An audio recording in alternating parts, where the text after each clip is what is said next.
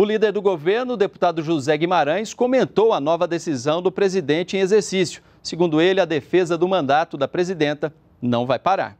Eu só lamento.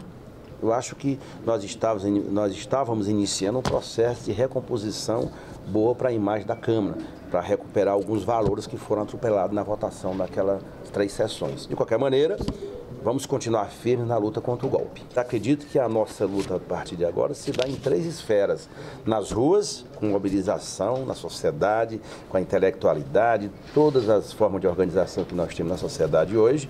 No Senado, no voto a voto, é importante, estou convencido que há amplas perspectivas de reversão desse quadro no segundo momento no Senado e, evidentemente, no Judiciário. Se depender de mim, a disputa se dá em todas as frentes, na Justiça, no Senado e nas ruas.